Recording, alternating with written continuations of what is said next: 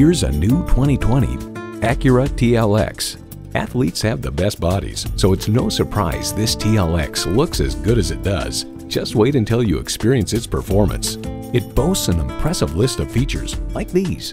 Streaming audio, front heated leather sport seats, doors and push-button start proximity key, power sliding and tilting sunroof, V6 engine, gas pressurized shocks, external memory control, front heated leather bucket seats, automatic suspension management, auto dimming rearview mirror, and power heated mirrors.